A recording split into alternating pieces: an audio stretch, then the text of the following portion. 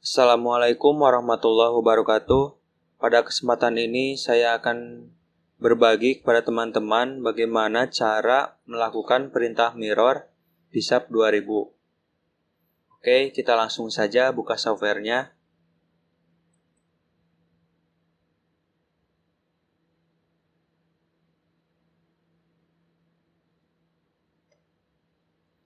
Misalkan kita memiliki model, struktur. Di sini saya akan coba dari default. Nah, misalkan ini modelnya. Untuk memudahkan kita close salah satu. Misalkan di sini kita memiliki denah, struktur rangka misalkan ya.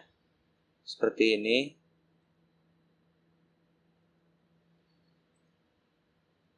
Misalkan. Nah, kemudian kita mau melakukan proses mirror pada area B dan C dan C dan D area kosong ini kita akan isi dengan model ini. Pertama-tama kita seleksi dulu objeknya. Setelah itu masuk ke menu edit, kemudian replicate, kemudian mirror. Nah, di sini ada empat menu parallel to Z, parallel to X, Y, dan 3D plane. Artinya ini memperlihatkan bagaimana kondisi saat kita akan melakukan mirror. Nah, kita perhatikan nih, parallel to Z. Di sini ter terlihat X, Y, plane. Sedangkan kita sedang pada posisi X, Y maka ini sudah benar. Nah, ini setelah kita memilih ini, kita pilih pick two points on model. Kemudian klik di satu titik dan klik di titik berikutnya, dua saja. Kemudian apply. Nah, ini sudah berhasil. Kita akan coba lagi. Misalkan ini akan kita mirror ke area kosong ini. Kemudian pick two points, klik di satu sisi titik, kemudian klik di titik berikutnya. Fly. Nah, ini sudah berhasil. Nah, ini adalah paralel to Z. Kemudian kita akan mencoba misalkan kita pada kondisi paralel to X, artinya coba kita klik YZ plane. Coba ya di sini ada nih, ada empat menu empat tampilan ini sama dengan empat kondisi ini. Sekarang kita coba yang YZ plan ya. Nah, ini YZ plan. Ini oke dulu. YZ plan. Nah, ini kondisi YZ plan. Misalkan pada kondisi ini kita memiliki suatu bentuk rangka misalkan atau objek atau apa pun itu. Misalkan kita gini saja. Nah, ini nih. Nah, pada kondisi ini kita akan melakukan mirror ke area kosong ini. Kita seleksi dulu, kemudian masuk ke menu edit, kemudian replicate, mirror, parallel to X sudah dipilih pada kondisi YZ, kemudian sama seperti tadi, pilih ini pick two points dan klik di satu titik yang lain dua kali. Apply. Nah ini hasil mirrornya. Kemudian kita mau memirror lagi nih ke sini. Sama caranya.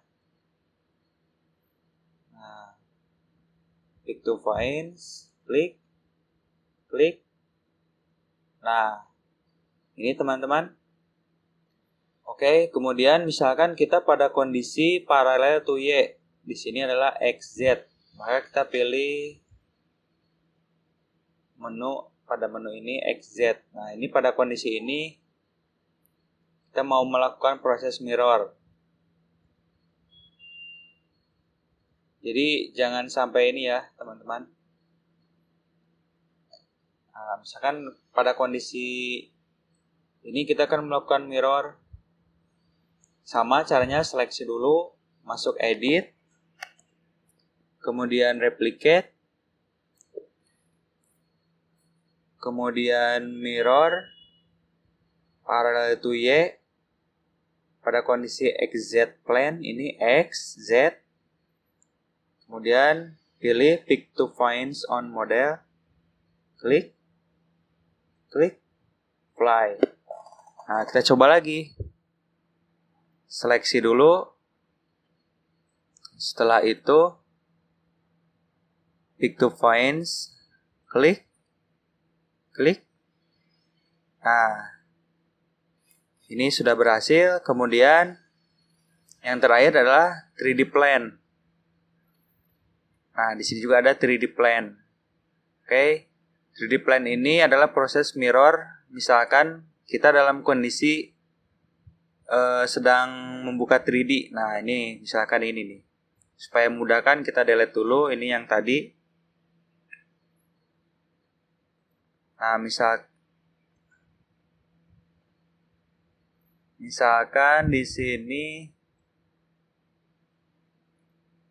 kita memiliki objek, nah misalkan ini ya, dalam bentuk 3D. Kemudian ini misalkan gini nih, kotak-kotak saja ya, supaya lebih memudahkan. Nah, misalkan ini nih kita mau melakukan proses mirror ini ke kanan, ke kiri, ke atas, dan ke bawah misalkan. Misalkan kita akan coba ke kanan, kita seleksi, sudah. Kemudian edit, replicate, mirror, dan pilih menu 3D. Nah, di sini pada menu 3D ini ada tiga titik yang harus kita klik. Kita coba ya, kita akan memirror ke area sini nih klik ini pick three points kemudian klik klik klik nah ini yang penting yang dikliknya area ini ya nanti dia akan ke sana fly nah kemudian misalkan kita akan memirrorkan ini ke ke bawah ke sini misalkan kita seleksi dulu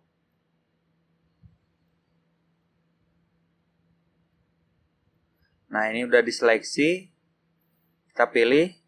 Nah, karena kita akan ke area sini, kita klik tiga kali di sini, di sini, dan di sini. Nah, kemudian kita misalkan akan memirror ke arah kiri ini.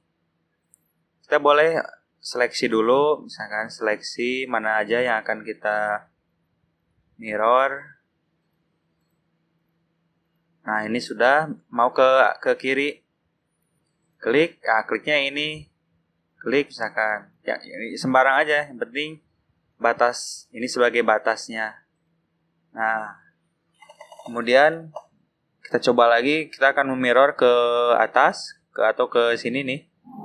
Ke arah Y. Kan kita seleksi dulu, seleksi mana aja Nah, sudah. Kemudian pick three points. Klik salah satu, klik salah satu, klik salah satu. Fly. Oh, ini belum ke mirror. Oke, tapi kira-kira seperti itu teman-teman. Caranya melakukan perintah mirror. Nah, ini biar lengkap pakai ini saja. Nah, itu teman-teman cara melakukan proses atau perintah mirror di SAP 2000. Uh, demikianlah video singkat ini, semoga bermanfaat. Apabila ada pertanyaan, kritik dan saran, silakan tuliskan di kolom komentar. Terima kasih. Assalamualaikum warahmatullahi wabarakatuh.